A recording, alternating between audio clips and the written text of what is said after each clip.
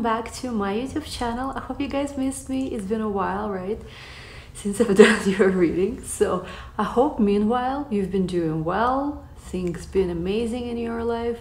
Today we're doing your, it's not really time specific, but I think you can watch this in March, April, whatever, you just cover that unless I mentioned specific transits. And anyway, before we get started, don't forget there is a membership community that's new on this channel. Check it out. There is even some tarot classes that I posted in the membership. I go live there too, so check it out.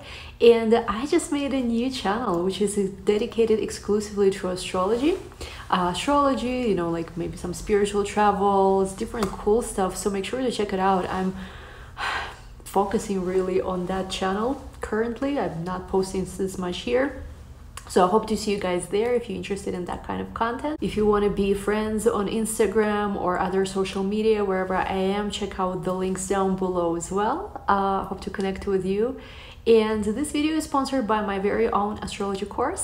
If you want to study astrology, whether you are absolute beginner or whether you're someone who is more interested in the sophisticated concepts such as composite charts, transits, progressions, fixed stars, fixed degrees, some pretty rare information that you're not necessarily going to see everywhere because um, I do teach Western system. However, a lot of my knowledge comes from Kabbalistic teachers and also Russian schools of astrology.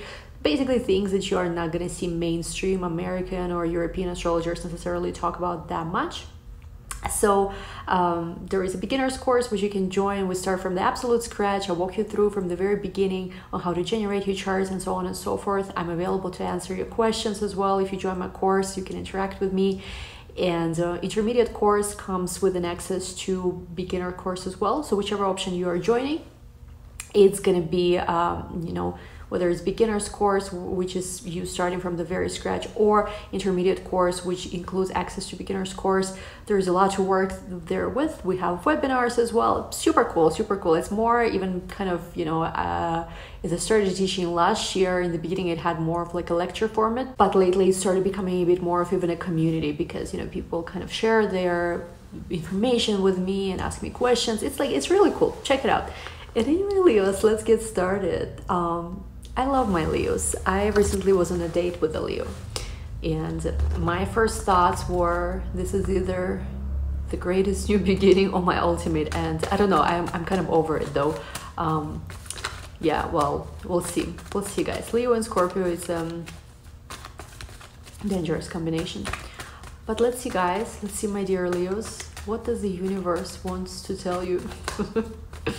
let's see. Ooh, Ten of Pentacles. You're okay. Ten of Pentacles to me, this is financial stability, this is money, this is resources, family, but also thinking long term. Thinking kind of like what is your ultimate um, future looking like? Whether we're talking career or we are talking, you know, like long term relationships. Leos do have Jupiter and Saturn in their seventh house of long term partnerships, serious partnerships. So there's been questions you've been asking yourself, like, where do I go from there?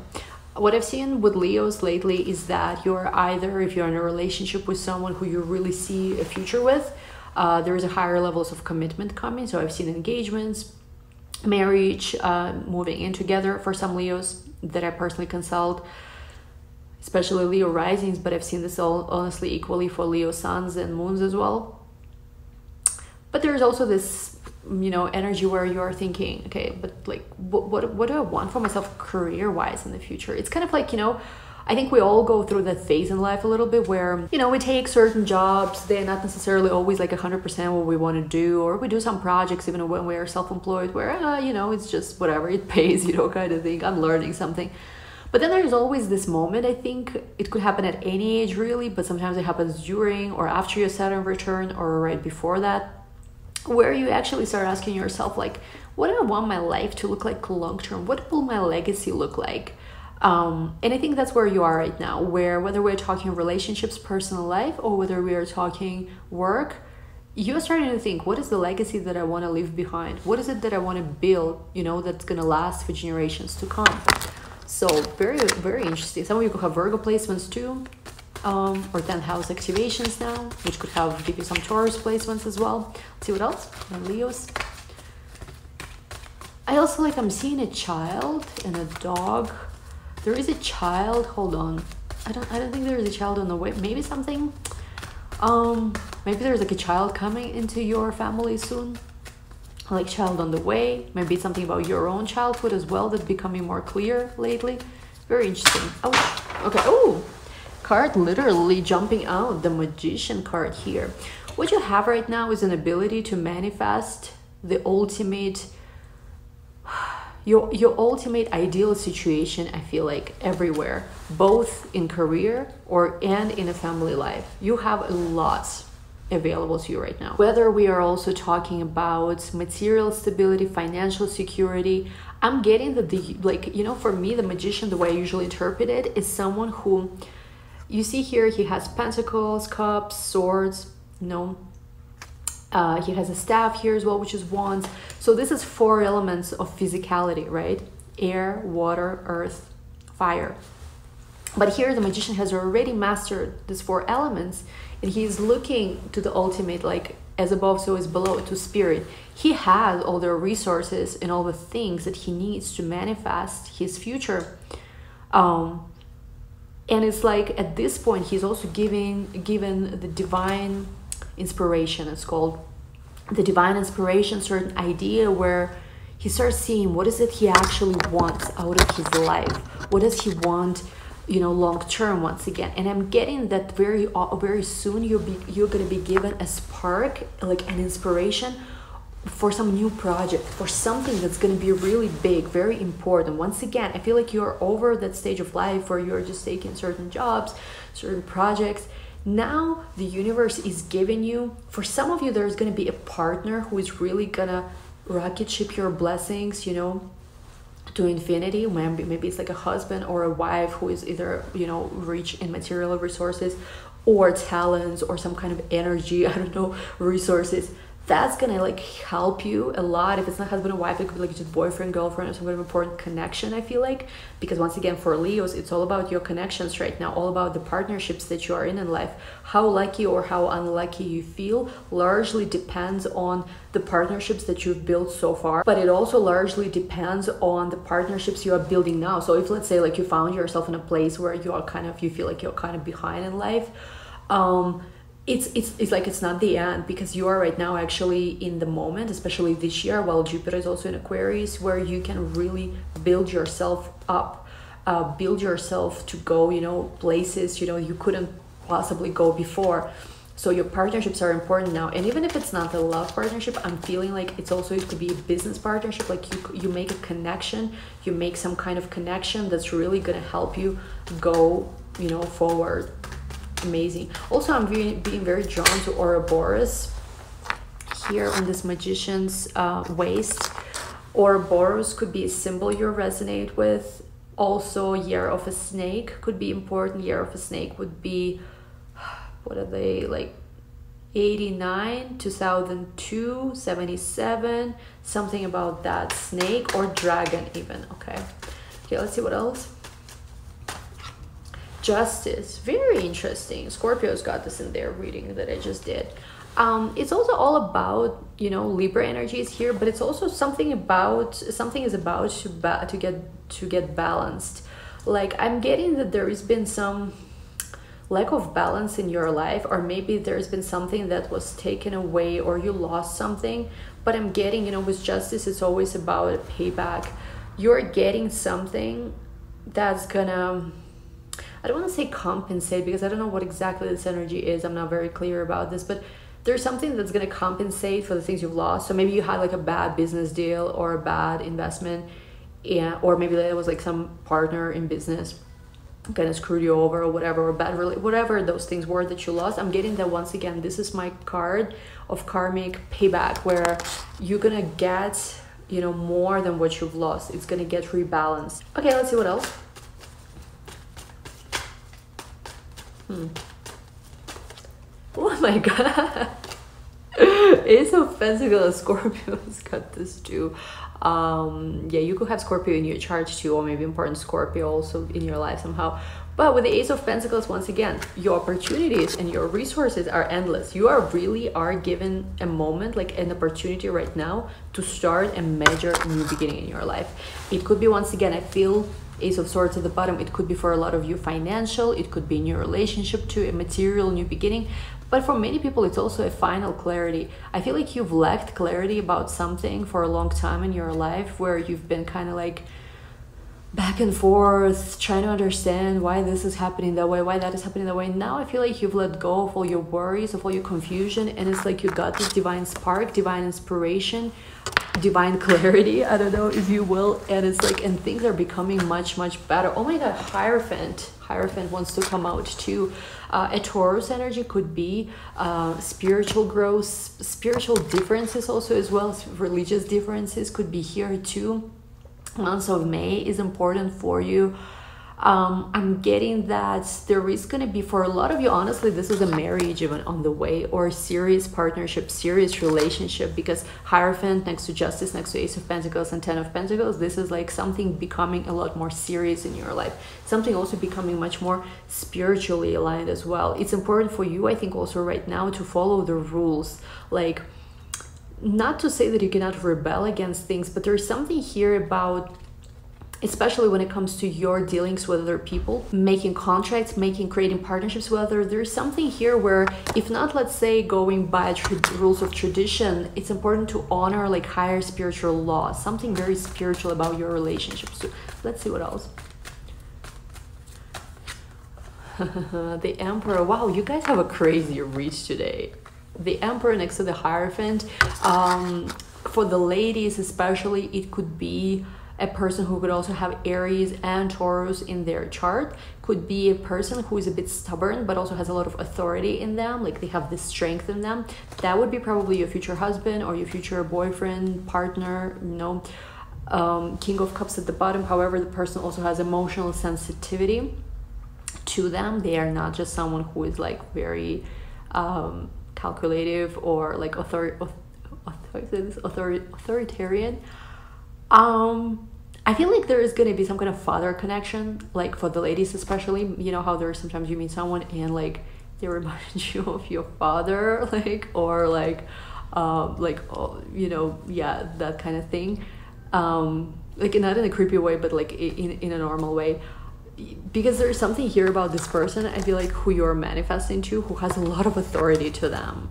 You know, they could have Aries, Taurus in their chart because the emperor and the hierophant and it's just like i feel like as you are also um, engaging communicating with this person you're also gaining more authority in your life as well because once again jupiter saturn in the seventh house made a conjunction in december 2020 it's like your partnerships your relationships are going to be very very important force in your life for a while. And of course, this is something that I've already spoken about so many times, but you know, it's even if let's say you are finding yourself at a place once again where you haven't manifested that partner or that person yet, you will be able to do so soon. Because once again jupiter and saturn together in your seventh house especially while, while once again jupiter is in your seventh house this year you will meet somebody who is going to be very very important person. I feel like of course for the most of you this is going to be about love but if let's say it's not resonating with you you're not looking for it or if you're already settled in love this is going to be important maybe figure friend business partner mentor you know really important connection that you're gonna make this year. And sorry guys, my camera was cutting off as I was recording this. The next card that I pulled here was Queen of Pentacles, which kind of blows my mind because your reading literally has like so many good cards, which I feel like shows that you are the person who has a lot to give in terms of material resources, in terms of love, or maybe you're meeting a person who has a lot to give in terms of once again resources, love, care you know like it's it's you know it's an energy where two people have so much to give to each other and to the world where i'm getting like you will soon be like literally in that space where you're like punching yourself. I cannot believe like this is real. Like it's like finally everything makes sense. Finally you find the peace that I feel like, especially you know for Leos, Leo risings especially, but also Leo Sun and Moon, uh, past few years, Jupiter and Saturn been in, like in your sixth house, which is like tough. You had so many responsibilities, and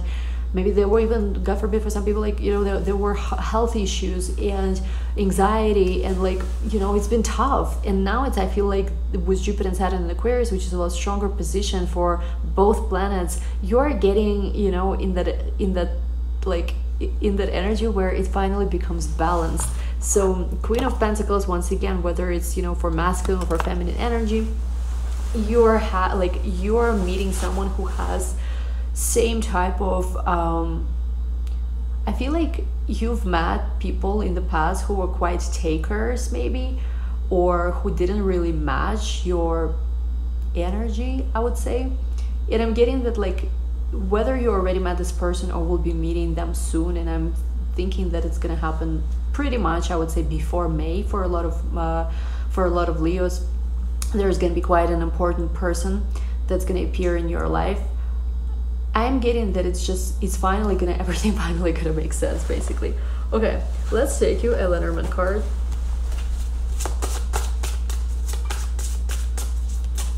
We have oh my god, we have here this is the card of masculine energy. So yes, for a lot of you, a significant person is about to enter your life.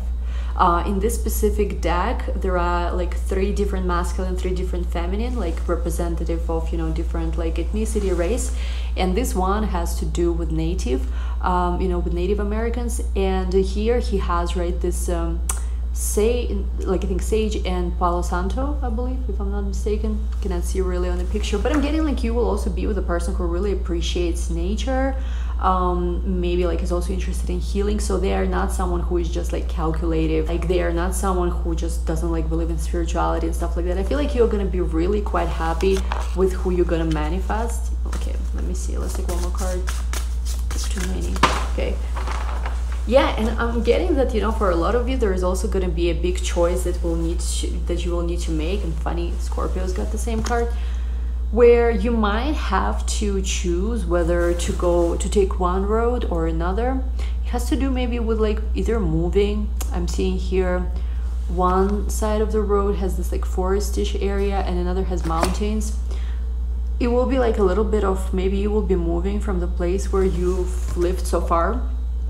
Um, I see also either you or your person could be life path number 11 22 maybe even 33 these are the three major master numbers. Something about that. And i'm getting that also like there is going to be these two roads that you will be choosing to take. One will be something that's going to be harder like something that you might not see like how to actually go around them. It might be like a very ambitious goal, goal maybe, or just go into a place where you've never been before, something like that, because mountain represents obstacles. However, I feel like you will also reach a much higher peak um, by go- choosing the path that's a bit more difficult. Another path will have to do with either, you know, going a bit easier road or just kind of like going a little bit more with the flow. I don't want to say that it's not necessarily the right direction, um, but I'm almost getting like it's time for you to go places where you've never been before and take a bit more of a risk. Or if you have to choose between two, that's what I would personally suggest that you choose. Alright guys, let's take you also another oracle card. I love your reading today. I definitely feel like love is all around you. Something amazing coming up for you. It's so beautiful my god. Milk and honey. Like you know here you know there is this little elephant that's getting you know like i don't know you don't get baptized i think like this. I'm not sure how it works in christianity but um the milk and honey and there is this little baby elephant. We have the rainbow here which is a promise that things you know will be good. No matter how much rain you know how much darkness you've seen there is going to be this bright new beginning this rainbow after rain milk and honey of course also i don't know maybe you are jewish or somebody you're connecting with could be jewish too um, number 51 is important number 6 is important. You could also be life path number 1 5 or 6 um, but it's like you know milk and honey is blessings. It's like when you know there is just blessings everywhere. There's so much to celebrate. There is just so much like you are manifesting right now your ultimate ideal life like you soon are going to be once again in a place where all the darkness if there's been darkness in the previous years is going to make total sense. And you're going to be in a place where you're just like you know this feeling like it gives me happy end you know? Something like that. So anyway Leos i hope you enjoyed this reading. If you did don't forget to give this video a big thumbs up. Don't forget to subscribe. Enable ring button. Don't forget to check out my new astrology channel because that's where i'm mainly focused right now at the moment. Uh, check out my astrology courses all the links down below and uh, i'll see you guys for those who are joining the extended.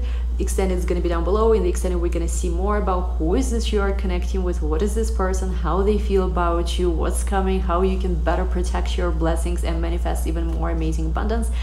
Thank you guys so much. We'll talk soon. Bye